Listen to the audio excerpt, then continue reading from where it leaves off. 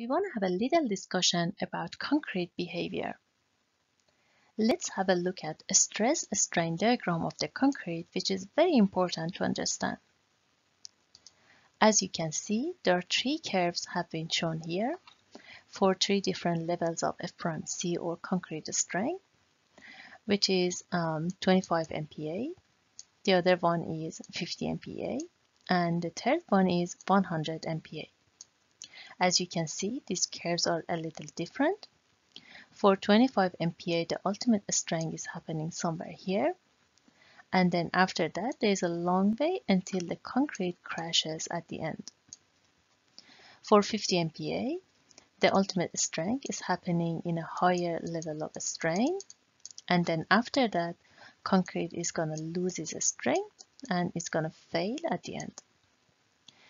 100 MPa has an interesting curve. As you can see, the maximum, um, uh, the um, ultimate strain is happening in a very high level of strain. And then after that, we're going to have sudden failure. So as you can see, concrete has a very different behavior when um, uh, with different levels of F prime C. And when you're choosing a value for your design, you need to be aware of these uh, differences. Also, the slope of the line in the beginning of the curve, which is kind of uh, linear. So this is for 25 MPa and this is for um, 50 or 100 MPa. It's called secant modulus of elasticity and is used to calculate short-term deflections.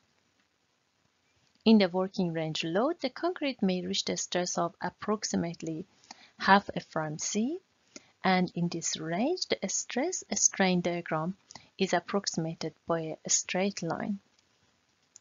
So we're going to use this as a fact in, um, in our analysis in the next few sections. Also, the strain at ultimate stress or crushing of the concrete is about 0.003 and this value is really important. We need to keep this value in mind because we're going to use this value a lot when we are analyzing our section for plastic behavior.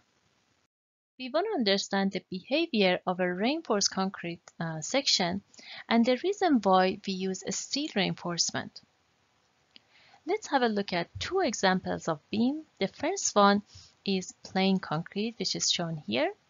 And the second one is a RC concrete beam or reinforced concrete beam. In the plain concrete beam example, we are having a point load applied in the middle of a simply supported beam. So the bending moment diagram for this beam is going to look like this.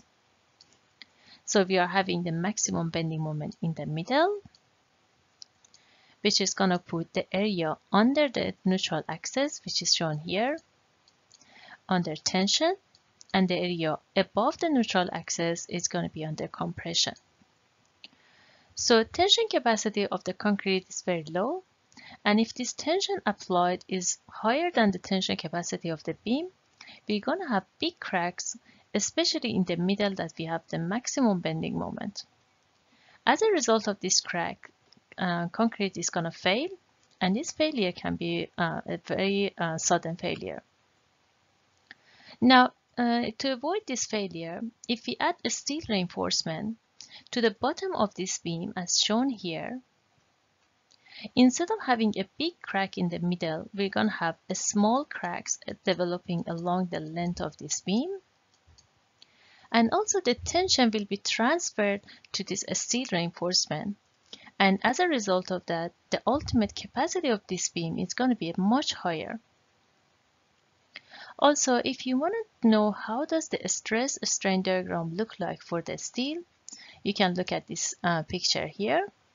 As you can see, the diagram looks very um, simple. It just has uh, two different parts. And as you can see, it's a lot more predictable that, than what you have seen for the concrete because the steel is a lot more uh, predictable material than the concrete.